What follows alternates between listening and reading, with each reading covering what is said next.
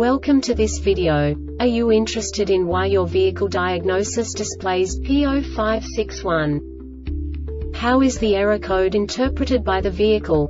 What does P0561 mean, or how to correct this fault? Today we will find answers to these questions together. Let's do this. First, let's look at the history of diagnostic fault code composition according to the OBD2 protocol, which is unified for all automakers since 2000. We divide the electric system of automobile into the four basic units. Powertrain, body, chassis, network. This distribution is defined in the first character code.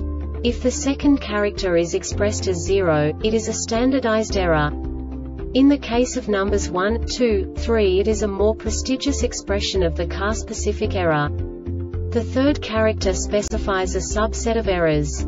The distribution shown is valid only for the standardized DTC code. Only the last two characters define the specific fault of the group. Let's not forget that such a division is valid only if the other character code is expressed by the number 0. Our website airbagreset.sk produces useful videos for you.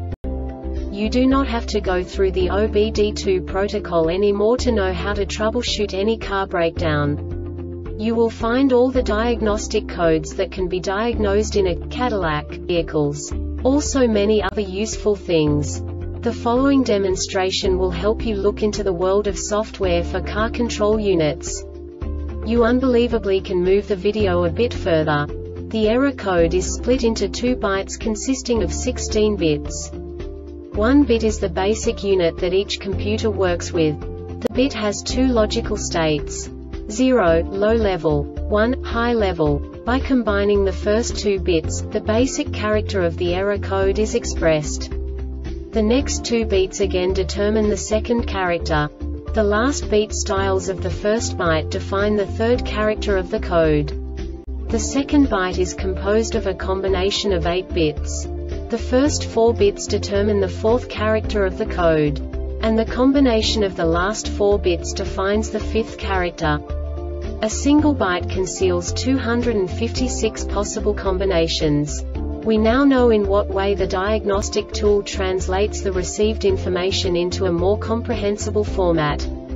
The number itself does not make sense to us if we cannot assign information about it to what it actually expresses. So, what does the diagnostic trouble code P0561 interpret specifically Cadillac car manufacturers? The basic definition is system voltage unstable. And now this is a short description of this DTC code.